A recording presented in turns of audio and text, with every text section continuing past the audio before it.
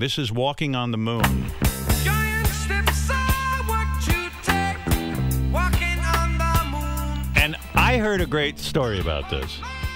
When you are a songwriter, the way you work, and this is your third album now with the police, the story I heard is you were walking around your room Yeah. and you said to yourself, I don't have a lyric for this kind of hook I have, but I'm walking around the room, so I'll call it Walking Around the Room. Yeah. And the original lyric ah. was Walking Around the Room. Walking around the room, yeah. Yeah. And then you said, well, that's too trite, I guess. I, I, I don't know the story from there. What, what made you change it to Walking on the Moon? Well, I had I had the bass line. I had the bass line in my head, and I just was kind of you know free associating.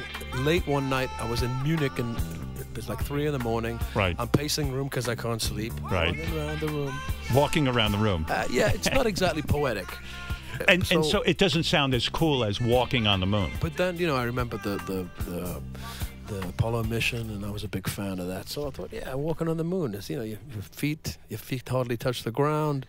That feeling of being air, being in love, is like walking on the moon. You know that that was what it was. Is that what I need to do to write a song? I need to start off with just anything, like start with a, a weird, like like a joke in a sense. Start with rubbish. Start with make rubbish. sense of it. I, is that the way to do it? yeah.